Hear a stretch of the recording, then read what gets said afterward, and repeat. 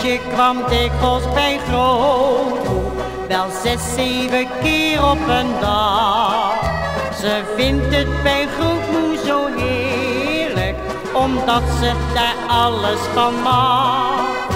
Ze rommelt in kasten en laden, dat vindt ze zo heerlijk en fijn. Dan ziet ze een pracht van een parelsnoer. Ach, grootmoeder, geef dit aan mij. Grootmoeder ziet haar aan met tranen in haar oog. Greetje, mijn kind, kom even bij me staan. Jij vraagt aan mij waarvan ik niet kan scheiden.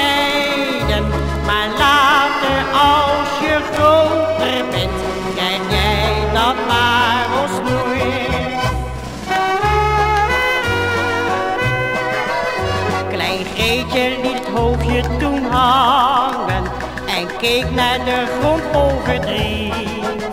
Ach grootmoe, waarom krijg ik nou dan toch dat pracht van een parelsnoer niet?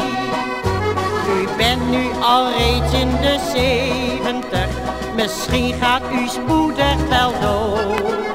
Dan kan u het mij niet meer geven, ach grootmoe, ik ben toch al groot. Grootmoeder ziet haar aan met tranen in haar oog.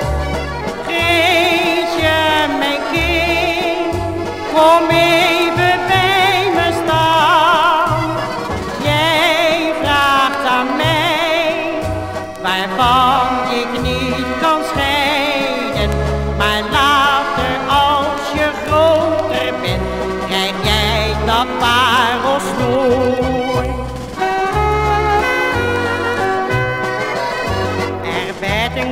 grafje gedolven, de schooljeugd die stond er omheen.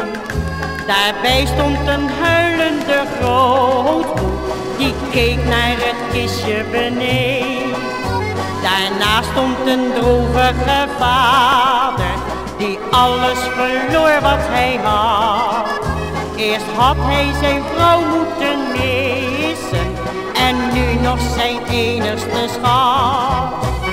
Grootmoeder ziet het kistje naar beneden gaan.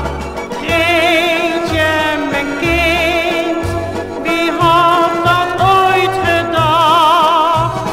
Dat jij van mij moest heiden zonder parelsnoer. Dat parelsnoer, dat is het, maar jij.